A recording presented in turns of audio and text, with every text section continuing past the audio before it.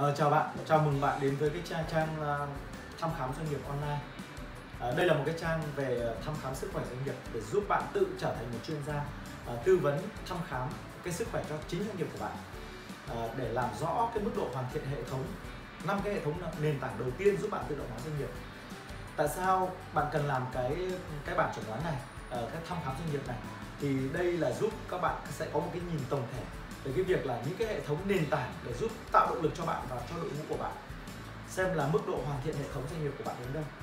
Cái hành trình đi đến tự động hóa doanh nghiệp của bạn. Ờ, là như thế nào? Còn cần phải hoàn thiện thêm cái gì nữa? Thì đây là một cái phần rất là quan trọng để giúp các bạn nhìn nhận doanh nghiệp một cách tổng quát về năm cái hệ thống nền tảng một doanh nghiệp cần cần phải có. Trong đó có sứ mệnh, tầm nhìn, văn hóa giá trị cốt lõi, các hệ thống mục tiêu chỉ tiêu và sơ đồ tổ chức bộ máy doanh nghiệp để mức độ hoàn thiện hóa doanh nghiệp trong doanh nghiệp của bạn ở đâu, như thế nào và tới đây bạn cần phải làm cái gì nữa để hoàn thiện hóa cái hệ thống doanh nghiệp của bạn? Nếu mà nhà mình chưa hoàn thiện năm cái hệ thống nền tảng này thì nó dẫn đến năm cái lý do mà bạn, cái hậu quả. Cái hậu quả thứ nhất đó là cái động lực của bạn và đội ngũ của bạn không có đủ cái động lực để bạn chiến đấu, bạn phát triển cái doanh nghiệp của mình. Đúng không? Thứ hai nữa là nếu bạn không có năm cái hệ thống nền tảng này thì giúp bạn và đội ngũ của bạn ấy không có cùng chung hướng vào một cái đích mà mỗi người sẽ hướng theo một cái hướng khác nhau. Và trước uh, theo một cái đích khác nhau và cuối cùng thì đội nhóm của bạn tăng giã bạn tăng giã à, ờ, nếu không có cái hệ thống này thì nó cũng dẫn đến một cái việc nữa đó là cái công việc của các bạn trong doanh nghiệp của mình bị trồng chéo. Bạn không kiểm soát được là cái công việc là à, người này cái mục tiêu chỉ tiêu cái KPI rồi cái cái nhiệm vụ của họ là gì? Cái nhiệm vụ của người kia là gì? Người này trồng chéo việc người kia và cái công việc nó rất là hỗn loạn và khiến bạn mất kiểm soát về cái hiệu quả trong công việc. Vâng, nó khiến cho là cái năng suất của bạn thấp rồi bạn không kiểm soát được thì cuối cùng là anh em thì hàng tháng bạn vẫn phải trả lương. Mà cuối cùng không biết đo đếm được cái hiệu quả cái hiệu suất làm việc như thế nào. Nó rất là dẫn đến cái việc là lãng phí. Thì năm cái hệ thống nền tảng này nếu các bạn biết được là nó đang ở đâu và nó đã có hay chưa đã mức độ hoàn thiện như nào thì bạn có một cái lộ trình bạn hoàn thiện nó.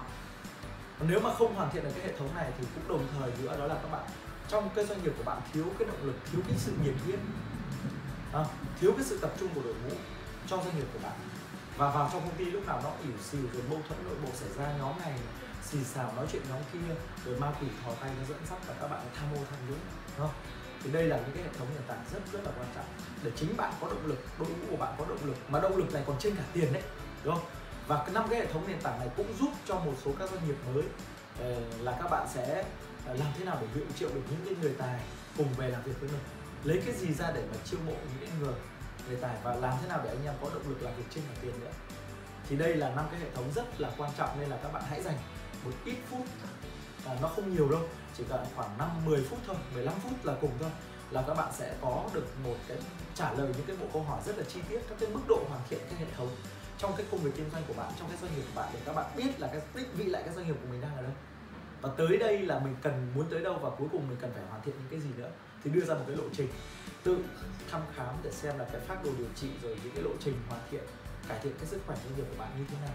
Đó thì đây là những cái bộ câu hỏi đề nghị các bạn hãy ở ngay dưới đây là các bạn đã cái bước tiếp theo đấy. Là các bạn hãy trả lời các câu hỏi làm sao thật là chính xác thật là trung thực à, thật là nhanh nhất đúng không? Để tận dụng được hết những cái cái hiệu quả của nó. Và khi bạn làm xong 25 cái câu hỏi này thì sẽ có một cái bảng chẩn đoán một cái sơ đồ nói về cái mức độ hoàn thiện hệ thống trong doanh nghiệp của bạn để hướng tới cái mục tiêu tự động hóa doanh nghiệp xây dựng một cái đội nhóm một cái doanh nghiệp phát triển bền vững. Đấy.